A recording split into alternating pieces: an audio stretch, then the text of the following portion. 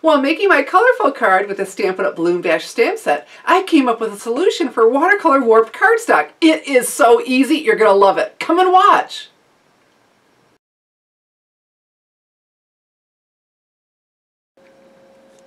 I'm going to use the 2013-2015 ink colors to give a watercolor wash to my Whisper White cardstock and then stamp with the Balloon Bash stamp set.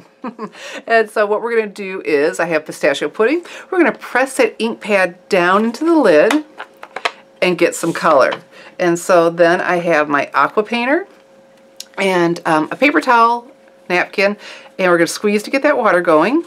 Come over here and pick up some color and then we're just going to scribble back and forth. I don't want to go edge to edge. I want that scribbled look.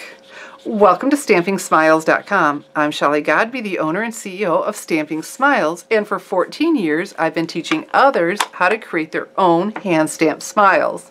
So next we have the Coastal Cabana.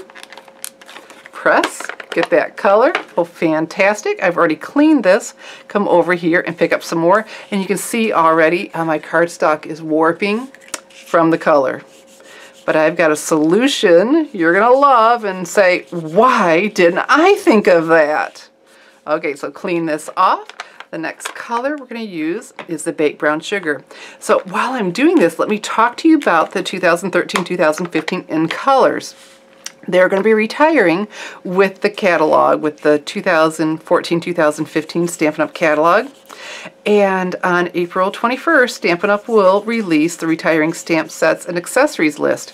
Well, we know they're retiring, so what happens is, and this is what happened last year, the ink refill started selling out even before the list was released. Chris Cantaloupe so what I'm recommending and have been to my customers since last year is you get over to my online store, www.shopwithshelly.com, and get your ink refills if you've got the pads. If you don't have the pads, well, this has been the most popular set ever, and you can see why. These colors are just gorgeous. And so the first thing they'll sell out will be the ink, uh, the ink pad refills then the cardstock, and all that makes sense for all the people that have the colors and love them. They're going to want to keep using them, so they're going to want to be able to re-ink their pads and have cardstock to color on. And so just heed my warning. And like I said, my customers have been, because I've been very pleased to see that the ink refills have been showing up in cardstock on their orders. Okay, so now we have that beautiful color wash, and again, it's warped. But before I show you the solution, we're going to go ahead and stamp on it first. And I've got the beautiful color, and I want the stamp to stand out against it. So I'm going to use Bermuda Bay from the Brights collection. And then this stamp. It just cracks me up. It says, it reads, I made this just for you because it's your birthday. You're welcome. I hear it with attitude in my head. And so when I have a big stamp like this, or a bigger one, I like to have it rubber side up and so I can make sure I get really good coverage. Ink it like this, just so I know. Okay, and then I'm going to place it right over this. And I love that the banner is going to hit the Coastal Cabana, the Bermuda Bay. The Coastal Cabana will be behind it. And let's press everywhere. I want really good coverage to stand out against that watercolor wash.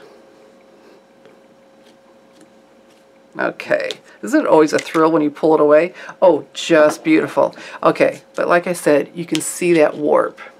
So I kept thinking about it. Okay, the water makes the, the cardstock expand. What makes things contract? And then it hit me. Preparation H you know what this is used for, what that shrinks. and then, you know, also models, they use it for the bags under their eyes to pull that, you know, to shrink those back up. So why not cardstock? So um, first I want you to have a rubber glove. I want us to shrink the cardstock, but not the skin in your finger. So a little rubber glove. And then what we're going to do is we're going to just spread this all over the back. All right we don't want to smear. The, the classic pads are not a permanent ink, and if we added moisture over that, we could you know, smear that ink, and we certainly don't want to do that. So you, you want to go edge to edge, because we want to shrink this evenly so it's going to lay nice and flat when I go ahead to uh, go ahead and layer it onto my card. So after you get that done, just set it aside for a couple minutes to dry. I can't wait to show you my finished card.